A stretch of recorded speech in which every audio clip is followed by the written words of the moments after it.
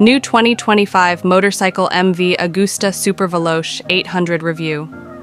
When MV Agusta first unveiled the Super Veloce at EICMA in 2018, my jaw hit the floor.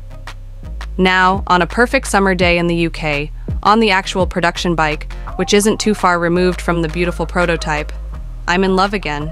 She is stunning. MV Agusta, Super Veloce price.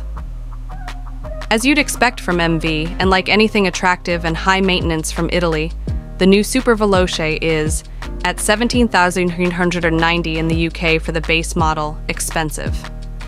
Ranked against the Honda Fireblade and Ducati V4 Panigale, both are priced around $20,000. That price doesn't seem too extravagant, but that's not comparing eggs with eggs as the Super Veloce is only 800cc in capacity and produces a relatively modest 148 HP. Power and torque peak.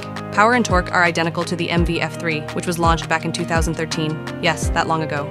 Peak power is 108 kW, 148 HP at 13,000 RPM, and peak torque is 88 64.9 lb-ft at 10,600 RPM. Engine, gearbox, and exhaust. The three protruding silencers sound as good as they look.